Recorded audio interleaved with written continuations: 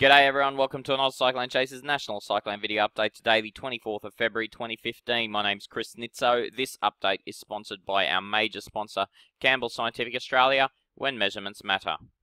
We can see currently a fair bit of low pressure around the northern parts of Australia. We've got a fairly active trough across the Pilbara and across the northwestern parts of WA. We've got another fairly active trough across NT and a less active trough system across Queensland. There just no, there is just no infeed of moisture into this trough in the Queensland, so it's only producing extremely isolated activity.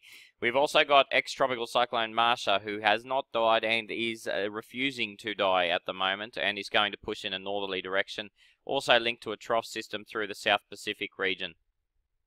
Looking at the Bureau of Meteorology's four-day forecast charts, we can see that Marcia will continue ex-Marcia, I won't call her by the name, just in case there's a bit of confusion. Ex Marcia is expected to continue to drift to the north and then is expected to drift eastwards towards the uh, Vanuatu to New Caledonian region. We can see that the tropical cyclone formation potential is non-existent in the Coral Sea, and so I wouldn't be too worried about Marcia redevelop ex Marcia redeveloping anytime soon, if at all. Now, over the northwestern parts of the continent, we do have that active trough system creating uh, not favourable conditions, but reasonable conditions for thunderstorms across the water. Uh, but none of those are expected to organise in the near future. Nothing in the NT in the official outlook. Nothing in, for Queensland in the official outlook, other than the mention of ex-Marcia. And nothing much on the WA update either, with uh, ex-tropical cyclone Lam dissipating as he heads southwards. Interesting little record that was broken, uh, according to the Bureau of Meteorology, the first time in recorded history in Australia that two severe tropical cyclones crossed the Australian coastline on the same day. That's pretty freaky, especially considering we haven't seen a, a tropical cyclone come anywhere near the continent up until that moment. The reason behind all of this cyclone activity, well, for subscribers, it should come as no surprise. We were talking about this uh, about a week and a half ago. A slow moving tropical disturbance called an equatorial Rossby wave was the reason. And uh, we mentioned that this equatorial Rossby wave was actually quite strong and uh, it was going to create havoc no matter where you were in the northern parts of Australia. So it has nothing to do with the MJO. The MJO is currently weak and almost non existent. However, we need to look a little bit longer term, and while the next three or four days are looking at absolutely no cyclone potential around, there is a sign that on some computer models we will see the MJO redevelop in seven to ten days, and that will increase the chance of tropical cyclone activity, particularly as we head to day 10 plus. So we're looking at 10 to 21 days' time, the possibility of maybe a couple of cyclones around uh, both sides of the continent, both on the east and west.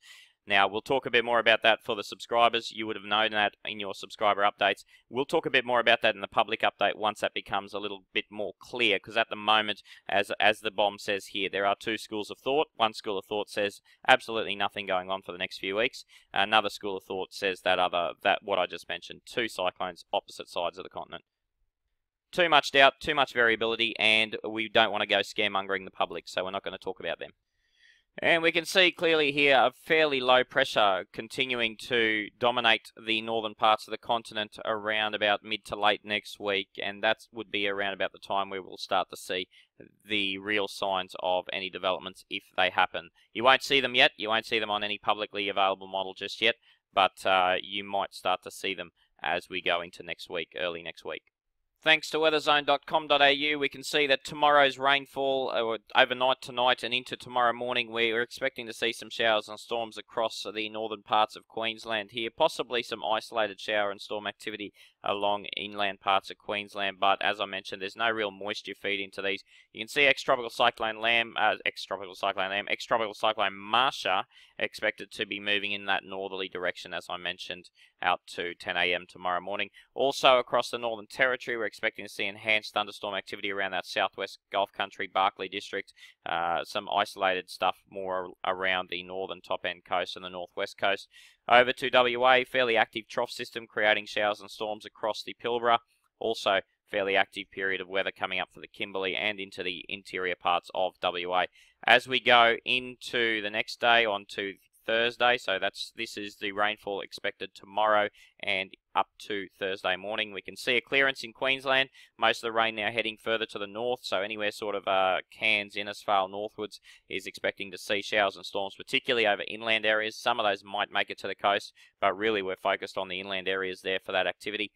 A little bit of a clearance here around the central parts of the territory. Most of the activity now heading up to the northern half of the Northern Territory. Um, also, possibly seeing an increase here in the northwestern top end of some shower and storm activity. And you can see a fair bit of rain activity occurring out here in the Arafura Sea, uh, but nowhere near the actual mainland. You can see Tropical Cyclone, ex-Tropical Cyclone Marcia not intensifying in any way, moving again to the north or slightly northeast there. And once again, you've got a very active period of weather coming up for the Pilbara and Kimberley as that trough system is a little bit more active than we're normally used to.